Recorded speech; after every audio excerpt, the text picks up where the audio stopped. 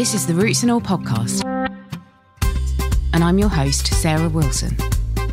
Join me as I talk about all aspects of gardening with some of the top horticulturists from around the world.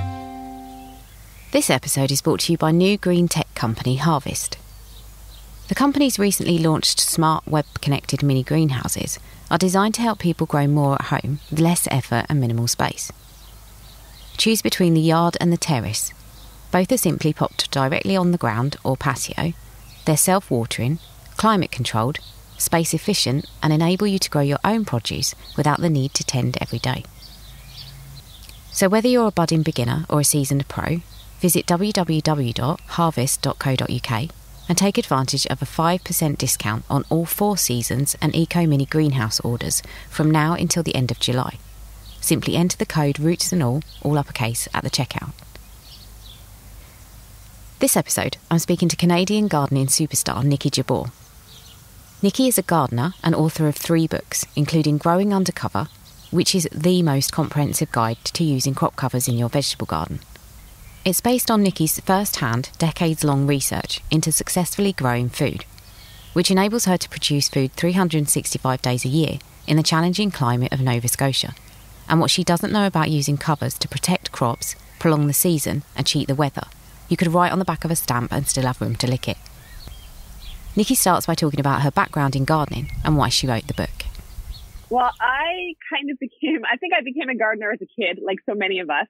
Um, you know, really a vegetable gardener, just interested in the fact that the food that my family's small and very weedy and pretty unproductive vegetable garden produced, that it just tasted so much better than the stuff you would buy uh, in the grocery store or even at the farmer's market. It was just so delicious. So that kind of sparked my interest early. Um, I did study in university and get a degree uh, in English and history, but then I realized I could actually study horticulture and I then went off and studied horticulture. Um, eventually started writing, combining those two degrees. And, um, you know, as I, I guess learned more in my food gardening experiences in my own gardens, I really kind of uh, experimented with season extension. Um, you know, trying to take my zone five garden uh, and harvest year round because when I grew up, it was like a late May to early September garden, and then it was frost, and you know there wasn't too much you could do, uh, you know, other than deal with the frost, and the garden was over. So using garden covers and season extension techniques um, allows me to harvest year round. Even again, I live in the northern climate in Canada, um, but I still can do that. So that was fascinating to me. So, I, you know, I did study horticulture, um, but I think I learned most from trial and error in my own garden. Yeah. Um, I mean, you have got a slightly more challenging climate, I think, probably than a lot of people listening. Um, but y- your book is amazing. It's so detailed. It's got such a lot of information in it. Um, but I thought we could start with the fundamentals, which is in the context of your book, what is a cover? Yeah, and that's a really good question because, and, and, I thought about that a lot as I, you know, prepped for the book, as I wrote the book, even afterwards. Um, you know, I think a garden cover is anything that can be used to protect a plant. So there's lots of reasons you might want to protect a plant. You know, I can look around my backyard right now. I'm sitting outside by my garden and I have so many bunnies this year. There's deer, there's groundhogs, there's squirrels and chipmunks. But then there's also going to be cabbage worms and slugs and cucumber beetles and potato bugs. And then, of course, you know, even though I think we're going to be frost free at this point in spring, a frost is still possible. So I'm keeping my garden covers handy because of that. So a garden cover really is anything that'll protect your plants from, you know, pests or weather or, or so many other issues that pop up as we garden. So, you know, it could be something simple as a row cover. Uh, it could be a polytunnel, a walk-in structure, um, or it could be a blanket of mulch to protect carrots and parsnips uh, for winter harvesting. So a garden cover, I think, is pretty uh, versatile term and can mean many different things. Yeah, because I think a lot of people naturally assume a garden cover is going to be something that extends the growing season. Um, but obviously, in as you write in the book, they're useful year round. Do you, do, do you always find yourself using them in the garden? Yeah, there, there's never a time of the year that I'm not using some sort of garden cover. Um, so even though I, I'm hoping we're frost free now, I've been erecting my mini hoop tunnels over top of a couple of my beds and then covering them with like bird netting because I know the chipmunks, the squirrels, the birds like to eat the ground cherries that I'm, I'm starting to plant out now. So just to protect those plants, um, as well as the bunnies that seem to have invaded my garden this spring, uh, I'm using different types of row covers and insect nettings and things like that to keep them out of the garden. So, you know, in high summer when it's really hot, uh, and the soil is dry, I'm using shade cloth. And I'm doing that so I can help establish summer crops of carrots and, and other root crops and greens that I can then harvest into winter. But those are planted in the middle of summer when it's hot and dry. So, you know, shade cloth lets me do that. And then of course, you know, I'm often known as the crazy winter garden lady, which is totally accurate, uh, because in the winter I have so many types of garden covers from simple ones like the, again, the blanket of mulch, uh, to, you know, my walk-in polytunnel, uh, as well as cold frames and mini hoop tunnels. So, you know, no matter what time of the year it is, there is a garden cover you can use to help you grow healthier plants and a bigger crop. Yeah, so um, obviously you've mentioned keeping things, excluding pests from a crop. Is that the main way that covers help with pest management? I think so. I mean, there's so many types of pests that can invade our gardens, and I think generally we have the same ones from year to year, and we develop strategies on how to deal with those. So for me, it's generally deer and slugs. Um, and you know, deer have been a problem in my garden since I planted my first seed. Uh, and so I do have an electric fence around my garden, a barrier which is really the most effective way to keep deer out of the garden, some sort of fencing.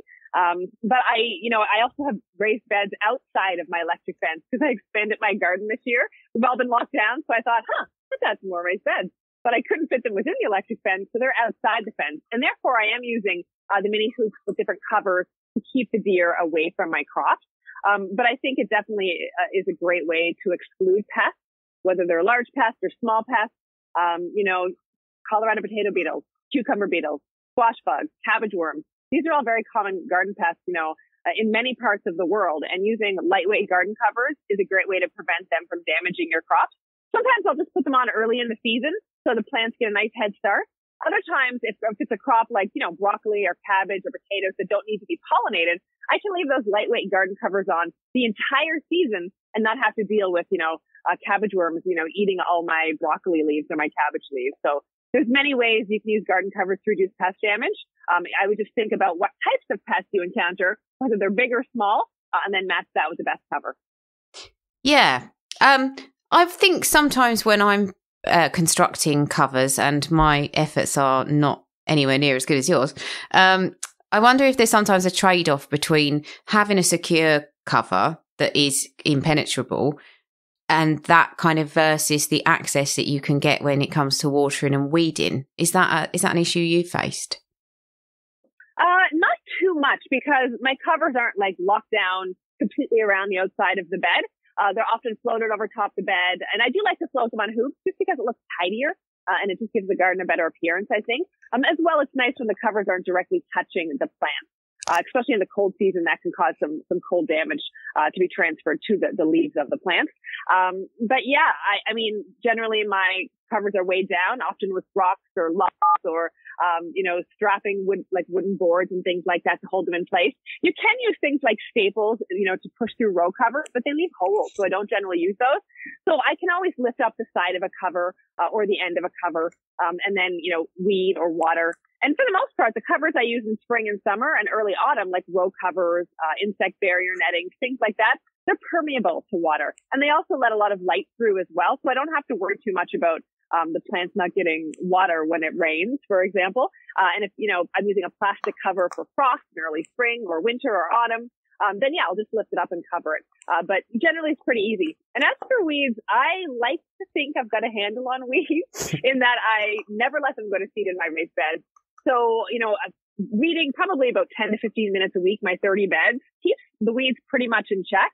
Um, although when I do use like manures and things in my garden and compost, sometimes I get a few new weed seeds that I don't expect because they traveled in with the, the soil amendment. Um, but you know, I, I, think being vigilant and making sure you never let weeds get a seed in your garden means that after a couple seasons, you'll probably have a really few weeds. And I also mulch. So my tomatoes, you know, my squash, my my peppers, my cucumbers, all those vegetables are mulched with straw uh, or shredded leaves. And that also helps reduce weed growth. So therefore I don't have to weed nearly as much. That's, that's really interesting. So when you mulch with straw, is it possible that you are sometimes trapping things under the cover that you didn't actually want in there? Uh, well, when I when I use straw mulch, I don't generally put it on until after my seedlings are growing well. So if I planted vegetable seeds, I don't cover them up with mulch until you know they're good sized plants. Um, but you you could be trapping weed seeds under there. But if the conditions aren't right for weed seeds to grow, if they don't have access to light, uh, you know, they're not going to germinate. So it actually can help uh, slow the germination of weed seeds as well. Because I mean, generally garden soils have a weed bank, uh, you know, a bank of seeds in the soils. And when conditions are right, they're going to grow. So, you know, especially if you're a no dig gardener, by not tilling or exposing and, and lifting up that soil and those weed seeds to light, know, they can remain in the soil for many, many years and not grow. Um, and mulching just helps again uh, reduce the chances they'll germinate. So it really is quite beneficial. So you mentioned that obviously you like to keep it looking tidy, and that's why you use the floating covers. Um, I think maybe some people are a little bit averse to covering things up in the garden because they might think that it can look like a bit of an eyesore. Uh, again, especially if someone like me builds it. How do you combat that? What are your top tips for making it look attractive? Yeah, I, I think having a nice looking garden, I mean, it's important to me. I think a vegetable garden is beautiful anyway. And, you know, I think, you know, when I was a kid growing up, you know, 30 plus years ago, people automatically, I think, thought vegetable gardens weren't that attractive. They were tucked in the backyard. They were tucked out of sight. They were tucked at the edge of the property or as far away from the house and the outdoor living area as they could possibly be because it was just a utilitarian space. It wasn't meant to be pretty. Um, but I think we've come a long way and, most homeowners, as well as of course gardeners, recognize that food gardens are beautiful, whether they're planted in long rows, whether they're raised beds, um, you know, whether they're growing containers on a, on a sunny deck or patio. These are beautiful spaces. And of course, I do lots of, um, you know, planting of flowers and herbs, um, you know, and I've raised beds as well, which I think looks tidy. Uh, so there's lots of things you can do to make your garden look even, you know, more ornamental. But I, again, I think people have a, a much a broader view of what an attractive garden is now. And I think food gardens fall into that category. You know, I have a polytunnel in my backyard. I would have loved like a glass Gothic greenhouse, but I mean, that cost of that was far out of my budget reach. So I have a polytunnel. And at first I thought, you know, people are going to think this isn't a very attractive structure because it's just like metal hoops covered in plastic. But my gosh, people uh, have really responded well to the polytunnel. I share photos all the time on my social media, uh, in particular on Instagram. And, you know, it's become my happy place. Uh, you know, it's a beautiful spot. I even put a little patio, a six foot by seven foot patio in the back of it so we can sit in there, watch the tomatoes grow and just enjoy that lovely sheltered space, especially on days when the weather isn't quite so fine, which is pretty often here in Atlantic Canada. Um, but I think if you want to keep a tidy space, if your only sunny space is a front yard garden, you know, then put in a raised bed or two. Um, if you're going to use garden covers, use, you know, PVC or metal hoops uh, to hold those covers above the beds and make them look nice and tidy. But generally, I think again, people have, um, you know, don't mind the look of a vegetable garden anymore, and they understand that this is an important type of garden. Uh, and, and so, yeah, I don't really worry about that at all. Uh, I love the idea of covers under covers. And uh, to my shame, it had never occurred to me to have a polytunnel and then to cover stuff up inside it. So, can you elaborate a bit on that technique? Yeah, I love that too. Doubling up covers is such a great way um, you know, to protect crops that maybe aren't quite as hardy for your zone, particularly in winter and, you know, early spring uh, or late autumn. So those are the seasons. So shoulder seasons, spring, fall, or winter when I'm doing that. Um, so for example, in my polytunnel, um, you know, in winter time, there are, there's a portion of one of my beds in there that's mulched with like a foot or more of straw. Underneath that mulch are artichokes, which are hardy to zone seven, but I'm in zone five. But underneath that polytunnel cover and the straw mulch my artichokes over winter. Um, so I get the most beautiful globe artichokes. You know, right now they're already three feet tall in the greenhouse, even though it's just early June. Uh, and we're soon going to harvest those first delicious artichokes, and I can't wait. But also, um, my salad greens, my carrots, my parsleys, and cilantros in winter in my polytunnel. Uh, over top those beds inside the tunnel, I'll have some simple wire hoops, just like nine gauge wire, bent in, into a U shape over the bed, covered with a lightweight uh, row cover. And that just gives me a little bit of extra protection when the nights are especially frigid. Because uh, here in you know Nova Scotia, our winter temperatures can be you know minus 20, minus 25.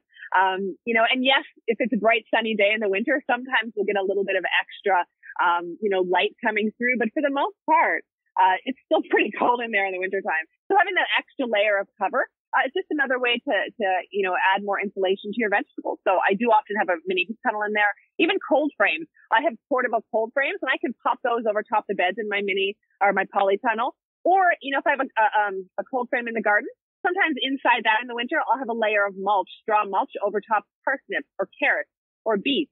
So there's a double layer inside that cold frame as well. So you can certainly um, combine different types of garden covers, uh, especially when you are in cold climates. Yeah, just as you were speaking, it made me wonder. I know this is probably a slightly technical question, but if the ambient temperature was a certain amount, what do you think that you could kind of be achieving or almost, you know, what temperatures are you cheating in a way to reach to in terms of overwintering things like artichokes when you shouldn't technically be able to you know could you maybe make an estimate as to how much warmer it is uh, well i think uh, honestly using a polytunnel for example moves me at least a zone maybe a zone and a half to the south um, and then adding another cover inside like a row cover moves me probably another zone so i go from being five zone five to like zone seven seven b um, but in terms of temperature like oftentimes it will be say you know, minus 10 degrees outside, you know, on a cloudy day here in the wintertime. And if I go in the polytunnel, it's probably going to be six or seven degrees. Uh, and underneath one of my little row covers, it'll be about three or four degrees warmer as well. So it certainly does make a difference. It is going to depend, of course, on the, the type of row cover you're using. There's lightweight, there's medium weight, there's heavyweight, there's different brand names. So there's a lot of different factors that can, um, you know, play into the actual exact temperature as well as the weather, whether it's cloudy or sunny or, you know, rainy or snowing. Um, in the wintertime too, that's going to play a difference. Uh, but yeah, I mean, the polytunnel during the daytime to make a difference of 20 degrees Celsius, uh, depending on the weather. And then using another type of cover inside, like a row cover, will again, you know, add anywhere from three to four degree protection. If it's a heavyweight row cover, um, something that's, you know, blocking like 50 or 60% of the light, but is really nice and dense in terms of temperature uh, and how much uh, temperature it can hold and insulation it provides. You could be talking six or seven degrees of additional uh, heat under there. So it really can be significant. Um, and it, again, it just depends on the covers and the weather. Yeah, and does it stop fluctuating temperatures um, a bit? Because I notice at the moment we're seeing sort of six degrees overnight inside the polytunnel, and then forty degrees in the day. Um, you know, does can it can it help buffer that? Yeah, for sure. Like, you know, for the most part, if you have a greenhouse or a polytunnel, you could be using shade cloth inside or even outside on top of your polytunnel to help offset those daytime temperatures. Um, one of the reasons I went with a polytunnel as well is because, as I'm sure you know, it is really hard to ventilate a greenhouse well without some sort of electrical fan um, during the day. It heats up in there super quick. Uh, you know, today, you know, we went from like I think it was six or seven degrees a couple days ago Celsius. Today it's going to be 29. Celsius. So, you know, it, it can be tough on plants growing in a polytunnel with those extreme temperature shifts. Um, but having a roll up sides in my polytunnel makes ventilation super easy. So the first thing I did this morning was grab my cup of tea, go up to the greenhouse, roll up those sides all the way in the polytunnel, open the door, open the windows. Um, and you know, I know it won't, won't be super hot in there. If I had it closed up, it would be 40 or plus degrees in there. Um, but opening the sides like that and allowing lots of ventilation uh, means the temperature will probably stay between 25 and 29 as the day goes on today. I do have um, a, a, like a thermometer that tells me the exact temperature on my phone in my kitchen. So I love to monitor the greenhouse temperature so I can just kind of see what the temperature is outside and then what it is inside the polytunnel. It's really fun to uh, keep an eye on that. But of course, you don't want your vegetables, excuse me, to be all of a sudden in 40 degrees Celsius. That's far too hot um, especially if you still have cool season vegetables in there, like I do, spinach, lettuce, things like that. I, I want the temperature to stay uh, much cooler. So ventilation, I think, is key with garden covers. Even if we're talking a mini hoop tunnel, something you know relatively small over a four by eight foot bed, it's important to ventilate that.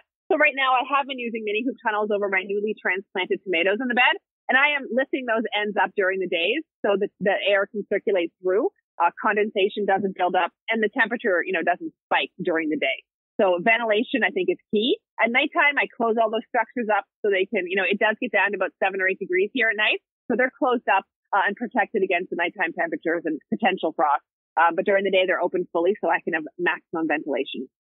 And obviously, we've spoken about the benefits, but um, aside from maybe uh, ventilation, are there any other common problems people might, uh, you know, encounter when they're using covers?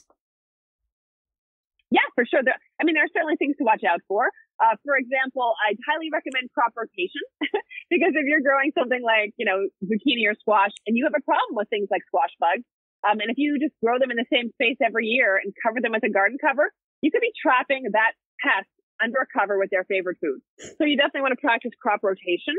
I think it's really important. Um, also, we talked about venting for temperature, but it's also important in terms of humidity. You don't want uh, too much humidity in a structure, particularly a walk-in structure like a greenhouse or polytunnel, because that can encourage different types of diseases. Um, so I, I, certainly like to uh, vent well so the humidity is too high in there. That's something to watch out for too. Um, but you know, and then the other issue I would think is more of a winter issue.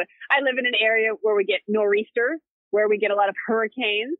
So if I'm using covers in late fall, um, I find certainly during those storms that we get, uh, if they're not fastened well, you know, and those, that's the time when those covers are pretty much on for the whole winter.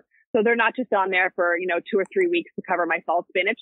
They're covering vegetables I want to harvest all winter long. So I do want to make sure they stay attached to the bed and don't blow off in a winter storm or a late fall storm. So I'll secure them to the bed with strapping. You can also buy clips. Um, I use uh, snap clamps, which are like C-shaped clips that just hold those covers tightly to the hoops. Um, you know, I used to have to make my own 20 years ago, but now lots of places sell them. So it's been a game changer for me. Uh, so I use usually three clips per hoop and it holds those covers nice and tightly. So I would say make sure you're venting for humidity. Um, you know, make sure you're keeping those uh, covers on very securely during the times of year when storms are likely, which would be, you know, early spring, late fall for me and winter when we have a lot of winter snowstorms and stuff too. Um, but yeah, there's, I think with anything, there can be some challenges, but overall garden covers have made such a difference in my harvest. I mean, again, there's 30 types of vegetables I harvest in the winter from my zone five garden in Nova Scotia.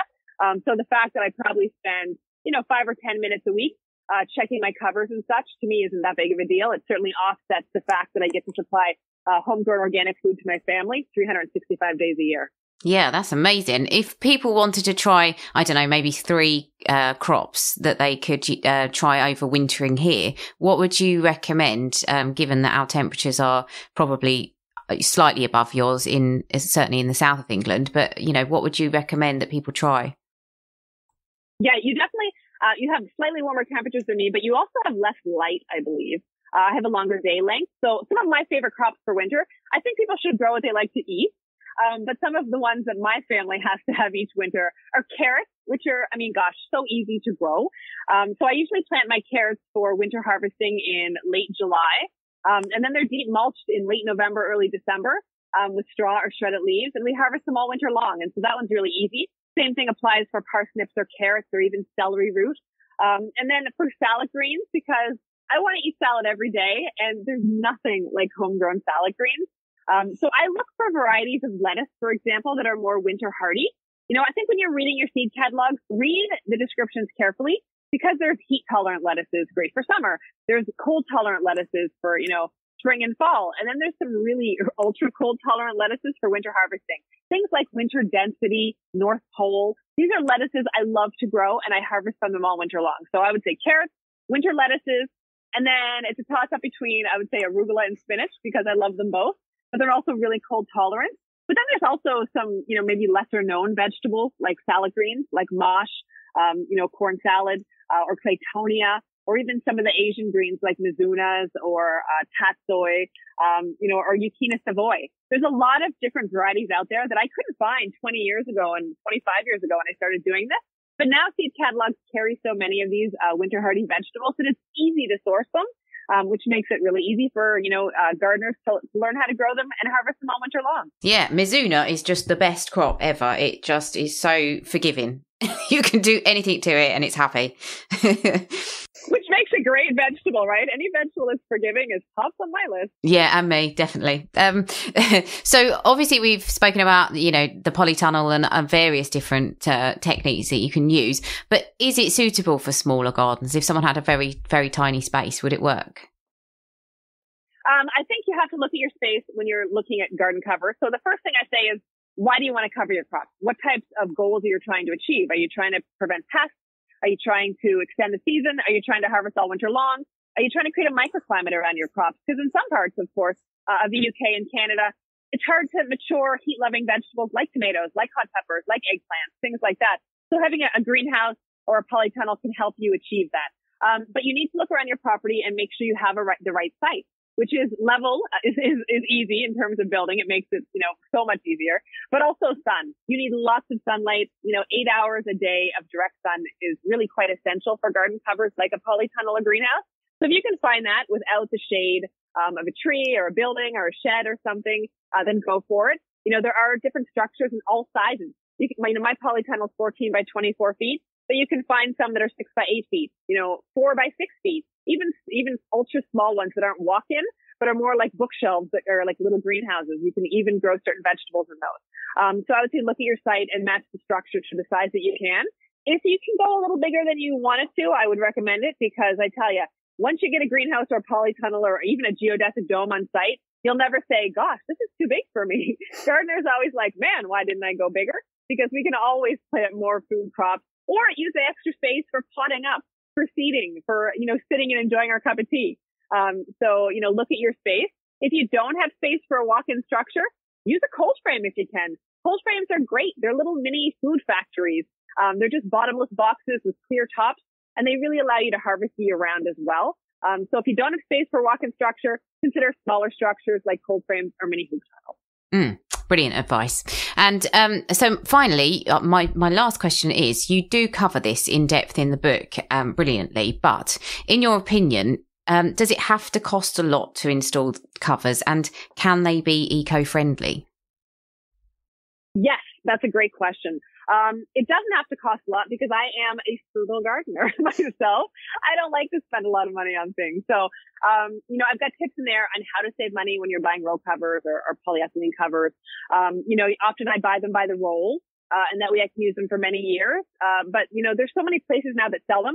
You can certainly comparison shop as well. Or if you have gardening friends, part of a community garden, part of a gardening club, an allotment, then my gosh, you you know you can do a group order and then everybody can share the different types of covers and split them up that way. But you can even buy small covers, you know, like uh, seven foot by fifty foot covers. It only costs around well here twenty dollars Canadian, so they're not that expensive. And gentle care, you know, they last many years. Um, you know, so if you want to reduce and be more eco friendly, uh, you know, I would make sure that if you're investing in something that's plastic, like a, a polyethylene cover, I would buy something that's going to last for a long time because you don't want to buy disposable plastic. I want to use as little plastic as possible as I can in my garden. So when I make a mini hoop tunnel and cover it in clear plastic, I'm going to use a greenhouse plastic, something that's UV treated, something that's, you know, six mil thick, something that's going to last me six or seven or eight years or longer. Um, I'm not going to use like uh, an inexpensive clear plastic like you can buy when you, you know, paint the inside of your house like a drop cloth. Those are only about one and a half to two mil thick and they only last really a couple months. So I don't want disposable plastic. I want stuff that I can use for many years, and then when I'm done with it, I can recycle it. Um, but of course, you can also upcycle and recycle lots of materials, like for cloches, water jugs and milk jugs, and you know different types of jars and things like that. Um, you know, you can make you know mini hoop tunnels out of you know old wire, uh, old hula hoops, old materials. Um, I've even seen people make greenhouses from old trampoline like skeletons. So I think if you're handy and you want to upcycle and recycle materials, you're going to start to see things like differently. Um, and I'm sure you can create some really fun things. Uh, but you don't have to always buy new. And, you know, when you do buy new, there are many ways that you can kind of cut costs and, and slash your gardening budget. Thanks, Niki. Please go and take a look at her website, savvygardening.com, which she runs with her business partner, Jessica Walliser, of episode 111 fame. Thanks as always for listening Please remember to visit harvst.co.uk and take advantage of the 5% discount on all Four Seasons and Eco Mini greenhouse orders from now until the end of July. Enter the code roots and all, all uppercase at the checkout. So you probably know by now that I don't kill anything in my garden. But if I had to make an exception, it would be for these antlered armoured thugs who try and smash in your windows at around this time of year. During May, in gardens all across Britain, a rather clumsy looking, inch long creature will start to emerge from the ground, and at dusk launch itself into the sky, whirring and humming as it goes. Displaying unexpected flying skills, its mission to find a tree where it'll feed on the leaves can often be disrupted by light emitted from our homes that fool it into crashing headlong into a window pane. This creature is the adult cockchafer, a beetle that is the largest of Britain's eight native chafer species, and is easily recognised by its reddish brown wing cases, a hairy black body with white triangular stripes along each side, and a pair of spectacular orange fan like antennae. And despite an ominous looking sharp point at the end of its body, cockchafers are completely harmless to us living for just a few weeks whilst they find mates and produce eggs that are laid into the ground. Being such a large and distinctive beetle, they've not gone unnoticed over time, being mentioned in folklore and, from the ancient Greeks to the Victorians, they've been tethered to yarn and flown by young children as living toys. And so it's not surprising that they've acquired an assortment of rather endearing names, such as the Billy Witch, Mitchamador, Doodlebug, Humbuzz, and simply the May or the June bug. Well, despite cockchafers being completely harmless to us, we can't really say the same for our plants, since, when conditions are right, little white, C shaped grubs begin hatching from the underground eggs, and using their six sturdy legs, they start tunnelling through the soil to find plants where they can eat roots for the next three to four years whilst they mature into adults. And for hundreds of years, cockchafer grubs remained the most notorious pests of wheat and barley crops until the early 20th century, when toxic pesticides became so widely used in agriculture that the cockchafer species became scarce. Nowadays, though, pesticide use is well regulated, and cockchafers are common again. But they're no longer a significant pest of cereal crops. Instead, it's parks and gardens where they're most frequently found, and where plant root damage is most likely to occur. And when it's severe, cockchafers might need controlling. However, with no approved pesticides currently available, an alternative, natural method would have to be used either by adding large numbers of naturally occurring parasitic nematodes, or by using the no cost option of digging the grubs out by hand. Otherwise, maybe just accept the cockchafers as part of the garden wildlife and a nutritious home produced food source for the hedgehogs and the birds. You can download or listen to the podcast direct from the website rootsandall.co.uk. Please also check out my Patreon, where you can make a one off donation or take out a monthly subscription to help support the podcast. Because if you enjoy the show, please help it continue. I also have a GoFundMe where you can make a one off donation. Even a one off donation of £1 helps, and I'll be really grateful for your support. So please go to Patreon or GoFundMe and search for Roots and All Podcast